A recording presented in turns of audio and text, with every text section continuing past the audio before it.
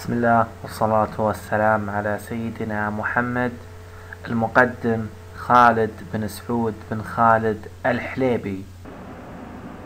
إن شاء الله راح نتكلم عن ظاهرة الأبنية العالية في هذا العصر.